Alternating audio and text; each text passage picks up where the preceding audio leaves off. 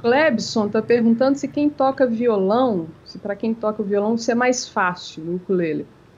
Sim, para quem já aprendeu, já tem uma estrada e um, uma prática com violão, com certeza é mais fácil, né? Você já sai tocando algumas coisas intuitivamente, de primeira, depois você pega alguns materiais aí na internet, os dicionários de acorde, algumas músicas você já toca, começa a transportar para o ukulele, funciona rápido, bem, com certeza é mais fácil.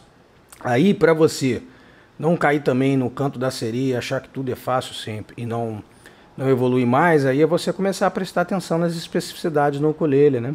Uma coisa bastante interessante, muito simples, é que no violão, a gente fazendo batidas comuns aqui perto da boca ou mais perto do cavalete, fica interessante pra caramba. Já, até violão de aço, principalmente. Já no ukulele, quando você faz essa batida aqui na junção do corpo, é, aqui com o braço, fica com som, você consegue ter mais frequências graves e ter um som mais bonito no ukulele. De uma forma geral, claro que não é proibido tocar aqui, quando você quer um som mais metálico.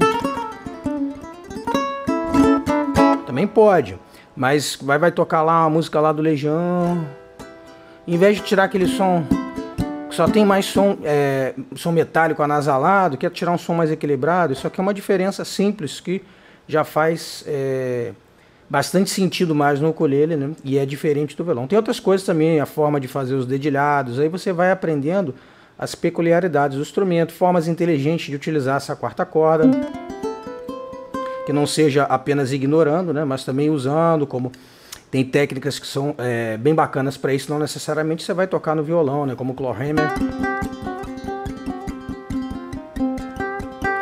Os arranjos em campanela.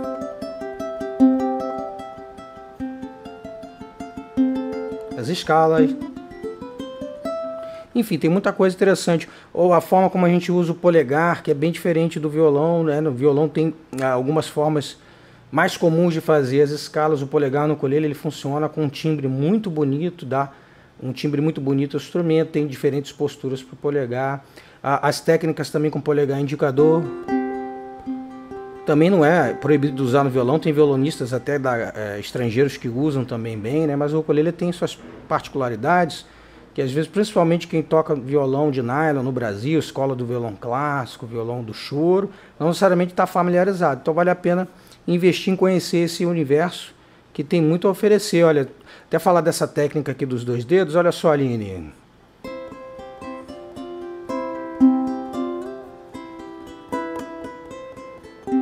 Fica muito bom no colher. Eu gosto muito.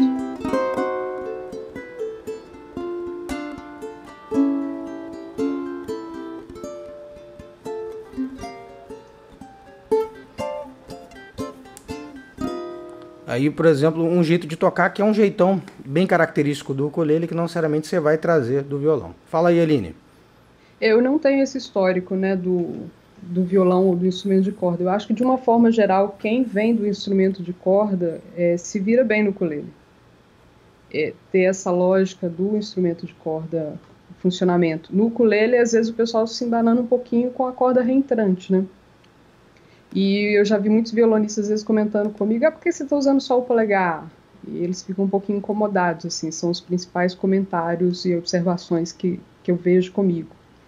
É verdade, o polegar é muito bacana de usar no ukulele, né? Também dá para usar bem, né? Tem alguns violonistas que usam o polegar, não o tempo todo, mas em circunstâncias específicas. Vou citar aqui, por exemplo, é, Paco Delutia, que tinha uma excelente técnica de picado com IM, mas também usava o polegar muito bem. Né? O Flamengo, em geral, usa o polegar de uma forma interessante, o violonista Flamengo. E aqui no Brasil, Dino Sete Cordas, que usava o polegar de dedeira né, para tocar aí o, o choro, o samba nas sete cordas. E, e, também usava muito bem. É bem possível usar o polegar também no violão. Mas no ukulele tem a sua particularidade, as suas formas de usar o polegar. Né? Surpreendentemente, às vezes, com o polegar você consegue fazer muitas sonoridades, fazer arranjos complexos, com melodia, harmonia, como esse arranjo aqui do nosso mestre James Hill. After You've Gone.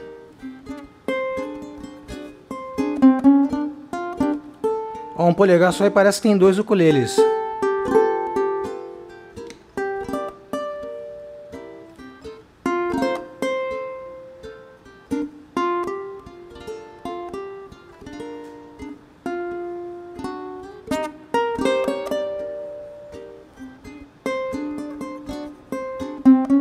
Claro, além também do polegar alternado, também que tem o seu valor, dá para fazer coisas rápidas.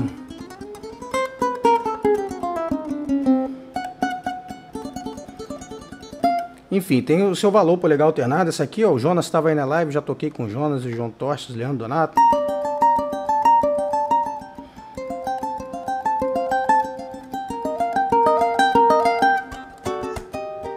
Aí uma pergunta até que você fez com algumas pessoas, por que é, usar o polegar tanto, né? É timbre, né? Claro que a gente usa também os outros dedos para uma série de arranjos.